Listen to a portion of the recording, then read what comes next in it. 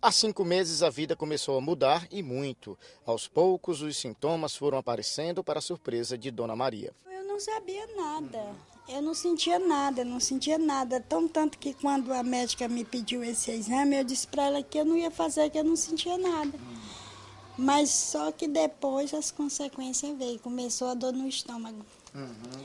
Encheu a perna? Enchei a perna, muita fraqueza, muito. Eu não tinha coragem nem de me levantar. Beber água era ruim?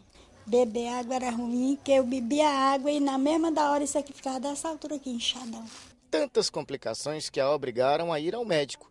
E ao fim dos exames, veio uma enxurrada de doenças, todas vinculadas à hepatite C. Cirrose hepática, hepatite C, é, gastrite crônica, uhum. Entendeu? E pré-diabetes.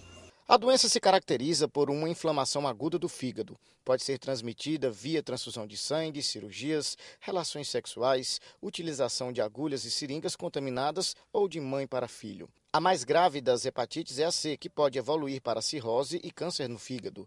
O tratamento é longo e envolve medicamentos de alta complexidade. No caso de Dona Maria, ela toma nove comprimidos por dia. Durante um ano, pelo menos, essa caixa de remédios vai ser usada com frequência. E a alimentação, bom, Dona Maria não pode comer carne vermelha, arroz, tomate, maracujá, acerola, cebola. Frango, ovos e cereais compõem o cardápio diário de Dona Maria.